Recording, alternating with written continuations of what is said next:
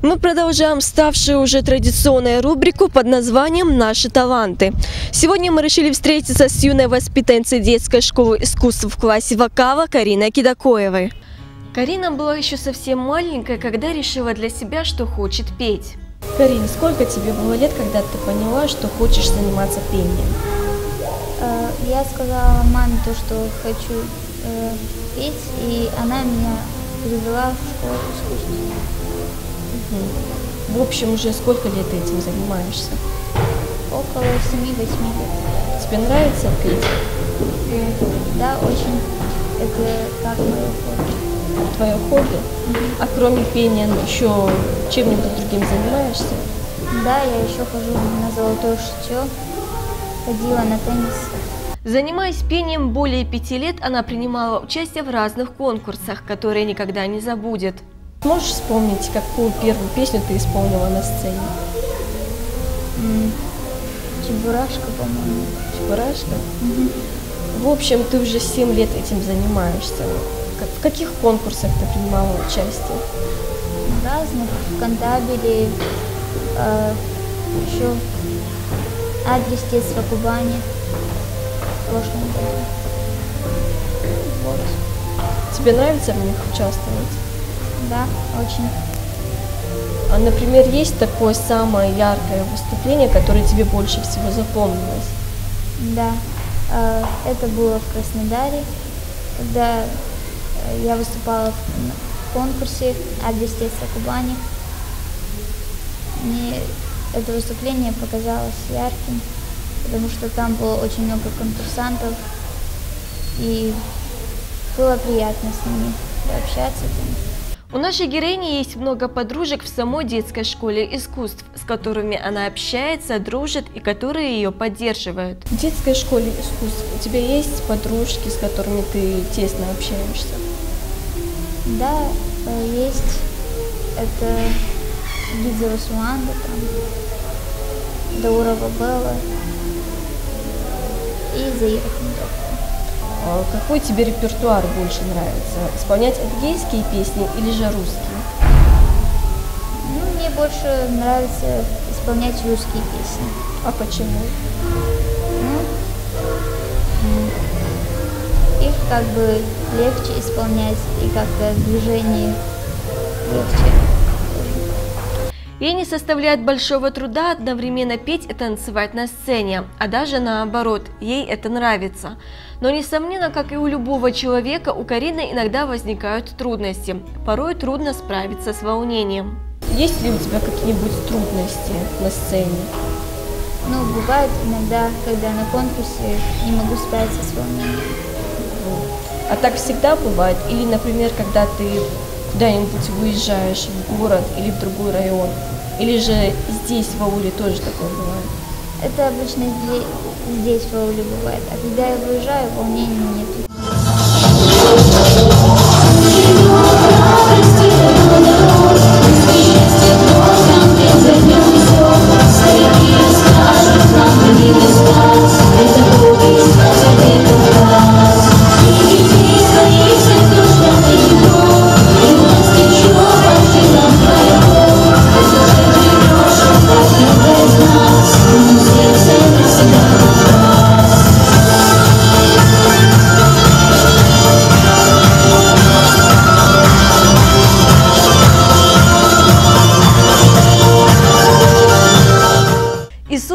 Собеседницы я поняла, что проблем с костюмами для выступлений у нее нет. Как обычно, в этом ей помогает мама. Карин, костюмы кто тебе придумывает? Ты сама, твой преподаватель или же вы вместе? Обычно придумываю я сама, но у меня э, учитель моя мама, и мы с ней советуемся обычно. А вот э, ты сказала, что тебе более нравится исполнять русские песни. И, соответственно, наверное, у тебя костюмов больше, да? Да, Таких песен.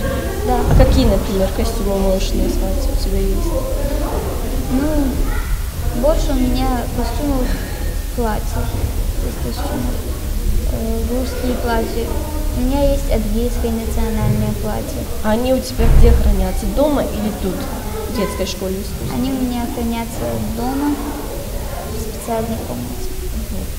У тебя, наверное, как и у любой девочки, есть свой уголок, да? Комната. Да. Ты ее как-нибудь э, украсила там своими грамотами, призами?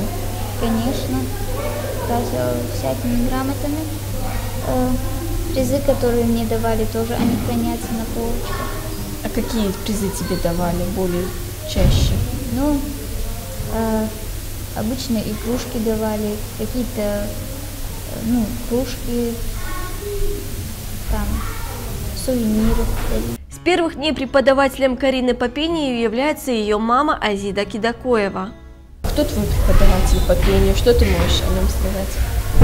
Э, Преподаватель по пению у меня Азида Учелуковна, э, моя мама. Она добрая и помогает мне всегда, когда мне трудно справиться с волнением. На встречу с нами наша маленькая звезда принесла свои грамоты, которые охотно нам показала. Эту грамоту я получила год назад от издательства Кубань. Это ну, сам такой конкурс, который мне запомнился больше всего. Э, Это грамота по сольному пению тоже недавно. Вот эту грамоту я получила здесь, э, в этой школе, но дальше я первый тур прошла, а дальше я не смогла пройти, потому что за день до этого я заболела. Это мы с, э, с Беллой Хасановой вместе. А это грамота э, региональном туре в Кантабеле. Вполне естественным был вопрос о школе. Не влияет ли увлечение пением на учебу в общеобразовательной школе? В школе, наверное, когда ты участвуешь в разных конкурсах, тебе же приходится отпрашиваться. Учителя как относятся к этому? Обычно директор музыкальной школы звонит нашему директору и отпрашивает нас с уроков. Проблем с этим нету, да? Обычно не бывает. Карин, вот твое занятие пением, оно влияет как-то на твою учебу, на определенные предметы? Влияет э, обычно на все предметы. Мне трудно потом освоиться из-за того, что я больше времени провожу в музыкальной школе, чем в школе. И мне приходится трудно, трудновато. Моей собеседницы, как оказалось, есть сестры, которые имеют непосредственное отношение к музыке. Знаем, что у тебя есть э, братья и сестры. Они какое-то отношение к музыке имеют? Э, Две старшие сестры имеют отношение, конечно же, к музыке. Они сами ходили на вокал и закончили вокальное отделение. Они тоже побывали во многих конкурсах.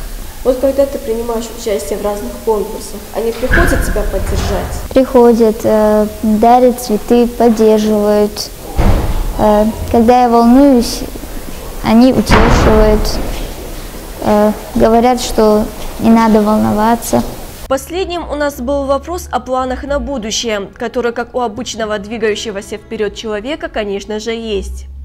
В дальнейшем, в будущем, ты видишь свою жизнь, связанную со сценой? Да, я хочу поступить в вокальное отделение. И думаю, что в дальнейшем у меня получится быть тоже учительницей по вокалу. Подводя итоги сюжета, можно сказать, что даже в таком юном возрасте наша героиня точно для себя решила навсегда связать свою жизнь с музыкой. И мне кажется, что на это повлиял пример ее семьи – это мама и сестры. Хочется пожелать Карине не сойти с выбранного ею пути и в дальнейшем добиваться еще больших успехов. Лучше